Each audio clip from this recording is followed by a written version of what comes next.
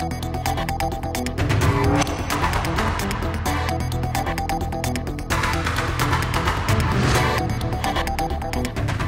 here we are in Channel 6 Sue.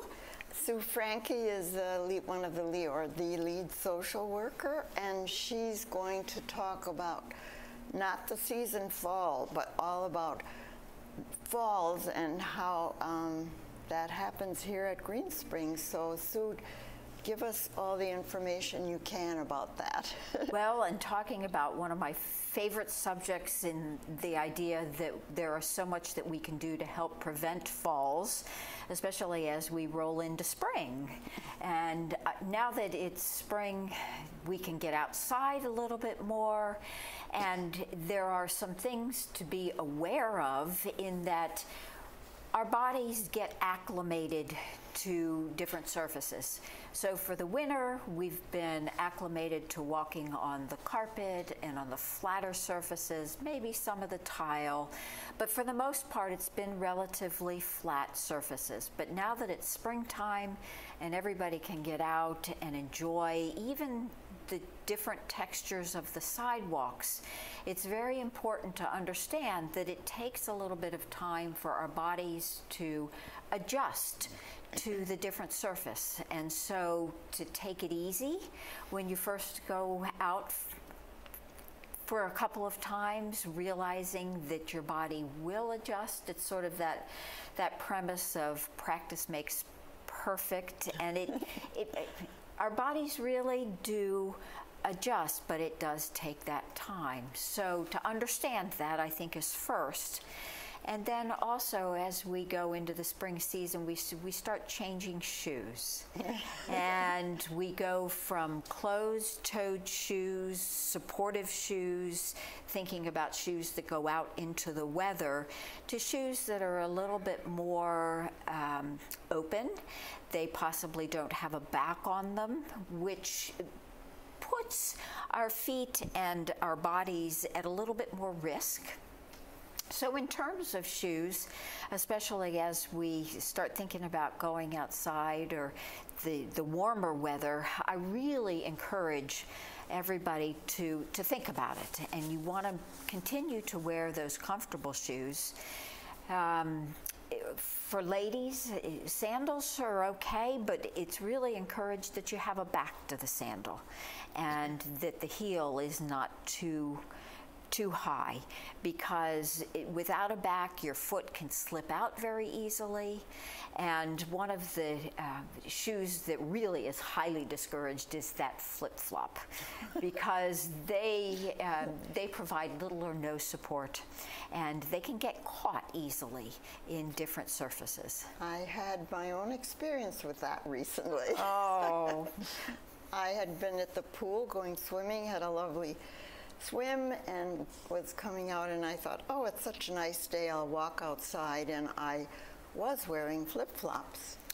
And I walked on a sidewalk that had a little, um, not quite level where the side pieces meet. Mm-hmm. And somehow or other, my flip flop, which I've worn on that same walk probably hundreds of times, caught in that little ridge. And I fell on my head. Oh.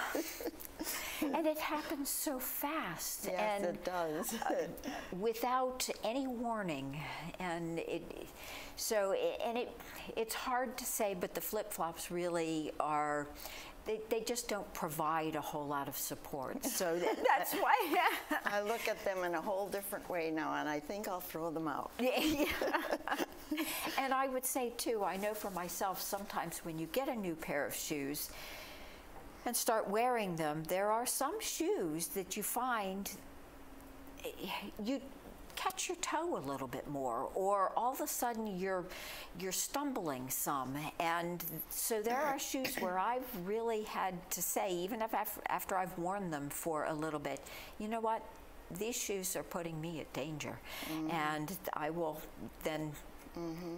put them away because I it's really important to understand how the shoes can can affect your your walking too especially if you're in, in stiletto heels. Oh, walk very carefully. Hold on to somebody else or in those stilettos. Yeah. Well, I heard a very interesting um, n- numbers about falls in Greenspring yesterday at the meeting, which is usually coffee with Ben. Yesterday it was coffee with Brian.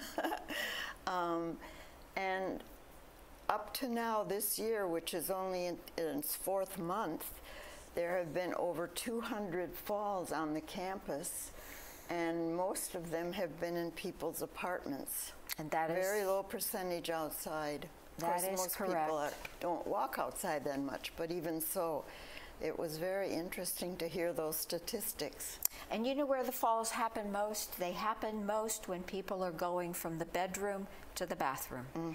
And it, a lot of times at night or early in the morning, because getting out of bed or walking when you're sort of in a sleepy type of a state can be difficult. It mm-hmm. takes some time to regulate the blood pressure. So uh, it's highly encouraged that when you get out of bed to take your time. Uh, make sure you flex your feet back and forth, get on the edge of the bed, uh, make sure that your feet are moving before you get out of bed. If you have an assistive device, make sure that's right there with you and ready to go so that you can use that going from one place to another. The other, another really important thing if you tend to get up in the middle of the night, which a lot of people do, is to have a night light of some sort to light your way from the bedroom to the bathroom. And if that doesn't uh, seem to work for you, even there are movement activated lights that you could get. Some people have to walk through their closet to get through the bath to the bathroom. So making sure that that closet area is cl- a very clear path, um, because if you're using things, if you don't have an assistive device and you find that you're using things to hold on to, there's not much in that closet to hold on to. Clothes. yeah, which don't give you much support No. either. So th- I think those are some some things to think about. Um, I've had people that have had difficulty with different socks. The tendency is to walk in socks that then are slippery. So you go from a carpeted area to possibly a more slippery area in the bathroom in socks, and that can cause falls. Mm-hmm. So if you're going to wear socks without shoes, look for socks that have some type of a, a non-skid on the bottom of them to keep you from falling. Another possibility is slippers that you can put on to make sure that you have a little bit of traction. How about bare feet? Bare feet are good. Have traction. They do have traction. and you know it's interesting, they the the studies show that we reduce our risk of falls most by having some type of shoe on. Hmm. There's something about bare feet where it doesn't distribute the weight as hmm. well hmm. as when you're wearing a good soled shoe. So something to think about. Yeah, it is. Uh, uh, shoes are, are preferable. A nice fitting shoe is preferable to bare feet in that way.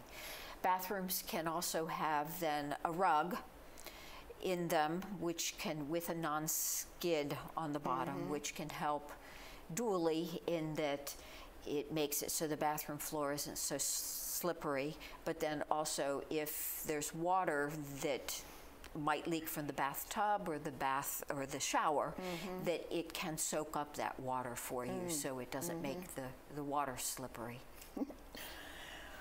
Well, that, I think we all know that in our, you know, somewhere in our brain up here, but so many times it's just convenient to be barefoot, which I do a lot in my apartment, mm-hmm. and um, find it. Com- actually, sometimes I find it easier walking in barefoot than I do in shoes, but they're probably the wrong shoes then. Possible. It's possible. I know myself too. I, I walk barefoot, but uh, it's always good to be cautious in that way.